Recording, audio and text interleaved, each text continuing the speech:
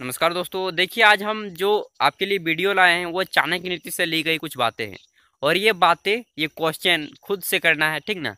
और इन प्रश्नों का कोई भी संबंध आपके कॉम्पिटिटिव एग्ज़ाम से नहीं, बल्कि आपकी निजी लाइफ से जुड़ा हुआ है। जी हाँ आपके पर्सनल लाइफ से जुड़ा हुआ है इन सवालों के प्रश्नों का उत्तर, ठीक ना? तो यह कॉम्पिटिशन में काम नहीं आएगा, आपके पूरे लाइफ में काम आएगा। तो अगर पसंद आए वीडियो तो लाइक शेयर और सब्सक्राइब ज़रूर करना। आइए शुरू करते हैं। देखिए चाणक्य कहते हैं कि निर्धनों का सबसे बड़ा धन क्या है? निर्धन व्यक्ति का सबसे बड़ा धन क्या है? तो इसका उत्तर है विद्या। विद्या ही निर्धन व्यक्ति का सबसे बड़ा धन है इसी से वह आगे और समाज का विकास कर सकता है। और सब कुछ, अपना सारा कुछ जो है विद्या को ही बताया गया है निर्धन के लिए। दूसरा चीज़, मनुष्य का सबसे बड़ा शत्रु कौन है? वास्तव में मनुष्य का सबसे बड़ा शत्रु कौन है? तो चाणक्य कहते हैं इस विषय में कि वास्तव में मनुष्य का सबसे बड़ा शत्रु उसका अहंकार है। यानी कि उसका घमंड।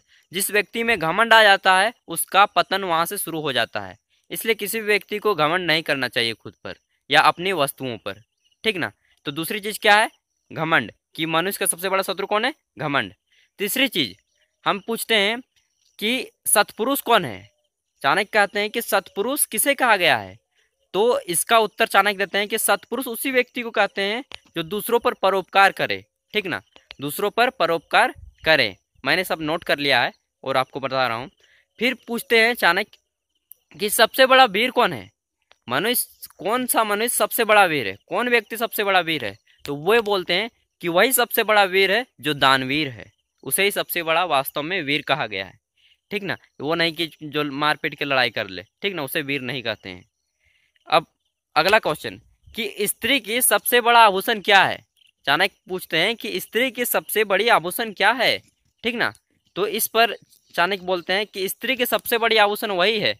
वही स्त्री के पास सबसे बड़ा आभूषण है जो लज्जा करती हो। ठीक ना?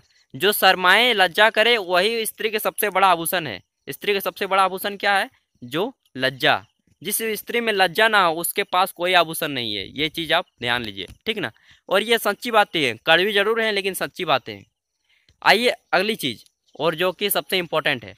बोलते हैं कि चाणक्य कि दूसरों पर विजय पाने के लिए क्या करना चाहिए? किस पर विजय पाना चाहिए? तो इस पर चाणक्य बोलते हैं कि अगर आपको दूसरों पर विजय पाना है तो सबसे पहले आपको खुद पर काम, क्रोध, लोभ तथा मोह पर विजय पाना होगा। तभी आप दूसरों पर विजय पा पाएँगे।